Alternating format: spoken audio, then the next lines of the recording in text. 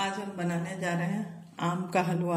आम का हलवा बनाने के लिए हमें चाहिए एक आम, एक छोटी कटोरी सूजी, एक छोटी कटोरी चीनी, एक बड़े चम्मच देसी घी, पंद्रह से बीस टुकड़े काजू के गुलाब जल। सबसे पहले आप क्या करिए, आम को अच्छी तरह धोकर छील कर इस तरह छोटे पीस में काट लीजिए और गैस पर आप दोनों तरफ़, एक तरफ़ फ्राइंग पैन रखिए और दूसरी तरफ़ कढ़ाई रख दीजिए। सबसे पहले हम क्या करेंगे? फ्राइंग पैन में आम को डाल देंगे। गैस को मैंने पहले ही जला दिया था। फ्राइंग पैन गर्म हो चुका है। और गैस की आँच को हम धीमा कर देंगे और इसमें हम चीनी डाल देंगे। जिस कटोरी से या कप से आप लें उसी में से आप चीनी की नाप लेंगे। हलवा सही बनेगा। इसको चला देंगे। इसे ढक देंगे अब कढ़ाई में हम डालेंगे। घी घी अभी मैं दो चम्मच डाली हूँ।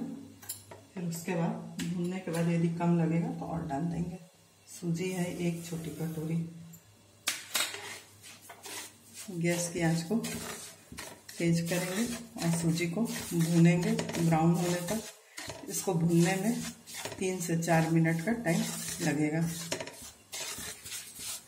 देखिए, तीन मिनट ही अभी हुए थे और सूजी बिल्कुल भून गई है और गैस की आँच को धीम स्लो कर देंगे और इसी समय हम इसमें काजू डाल देंगे। दो से चार पीस बचा लेंगे ऊपर से डालने के लिए।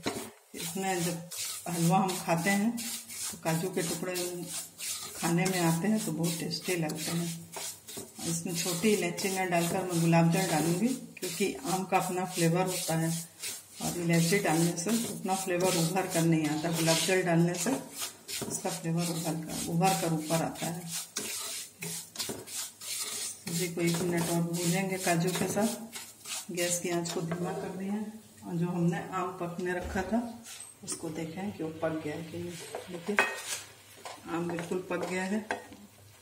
पका हुआ आम तो था ही चीनी, इसमें घुल गई है?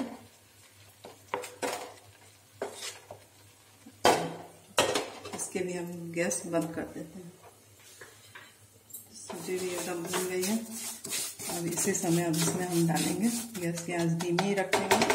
इसमें हम डालेंगे पानी। जिस कटोरे से आप सूजी का नाप लिए थे, उसी से आप लेंगे।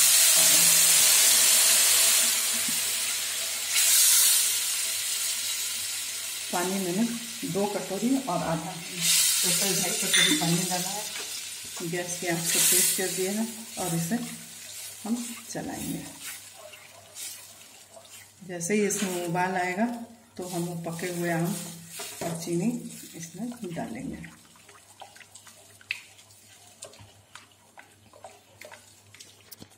इसमें उबाल आ गया है। अब ये हम आम और चीनी इसमें डाल देंगे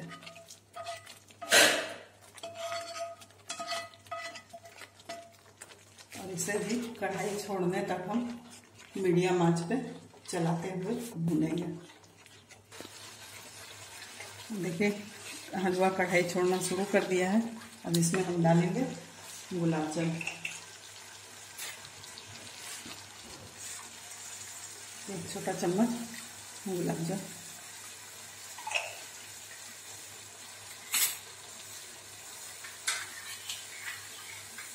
ही इसमें हम डालेंगे थोड़ा सा देसी घी।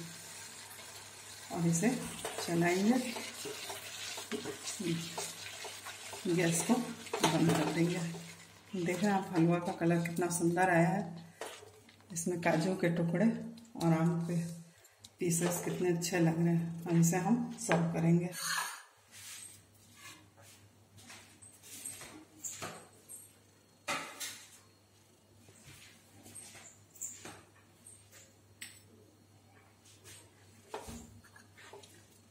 एक बाउल लेंगे, उसमें हम हलवा को निकालेंगे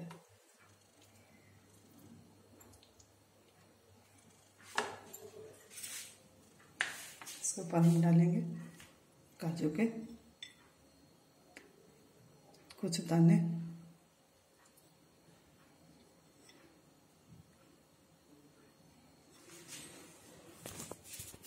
आम का हलवा बनकर तैयार है। आप इसे बनाइए और मुझे बताइए आपको कैसा लगा।